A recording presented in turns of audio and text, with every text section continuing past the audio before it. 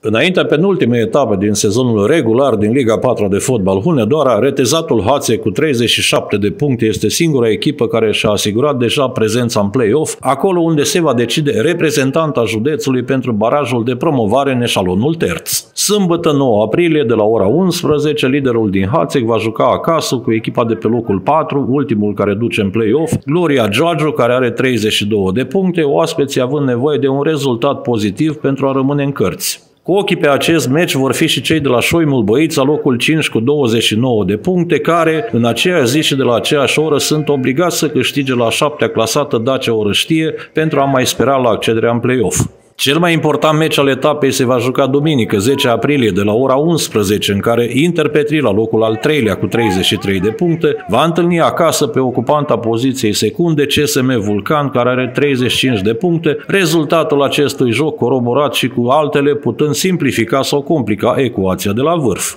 Tot duminică și de la aceeași oră 11 se vor mai juca partidele Victoria Călan CS2 Hunedoara și Minerul Urican CSM2 Deva, care nu afectează partea superioară a clasamentului. Reprezentanții Asociației Județene de Fotbal Hunedoara, cei care organizează competiția, așteaptă meciuri interesante ca și în celelalte două runde care s-au jucat în acest an, disputate și ele fără restricții și își doresc ca echipa ce va câștiga Liga a 4 să și promoveze în eșalonul superior.